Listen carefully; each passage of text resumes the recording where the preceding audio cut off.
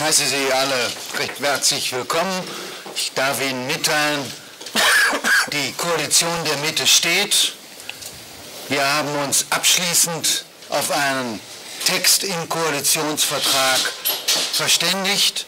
Wir freuen uns auf die Arbeit und wir wollen Deutschland in eine gute Zukunft bringen und haben die Grundlagen für ein gutes Jahrzehnt mit dem Koalitionsvertrag gelegt. Wir haben den Start in das nächste Jahrzehnt dieses Jahrtausends vorbereitet.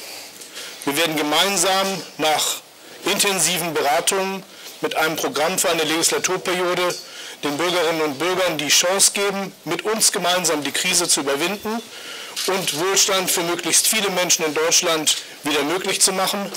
Wir sind auf einem guten Weg gewesen während der gesamten Verhandlungen, haben in einigen Punkten intensiv miteinander diskutiert und freuen uns darauf, wenn wir jetzt anfangen können zu arbeiten. Das war echt ein Stück harte Arbeit, hat an vielen Stellen aber auch Freude gemacht, macht jetzt eigentlich schon Lust auf mehr. Und ich glaube, wir können gemeinsam Deutschland eine gute Regierung bieten.